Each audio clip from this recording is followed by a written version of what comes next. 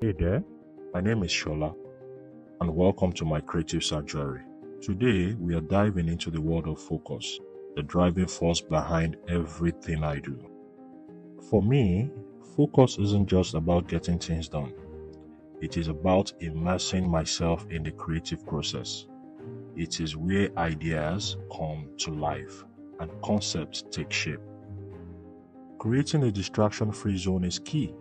When I'm in my zone, the outside world fades away and I can fully concentrate on bringing my ideas to fruition. Focus isn't just about smooth moments, it's about overcoming challenges. Tight deadlines and creative blocks are real, but focus help me power through and find solutions. In a creative space, it is not just about individual focus, it is about team focus. Collaborating with like minded individuals amplifies our creative energy and takes our project to new heights. Sometimes the most profound moments happen when I step back and reflect.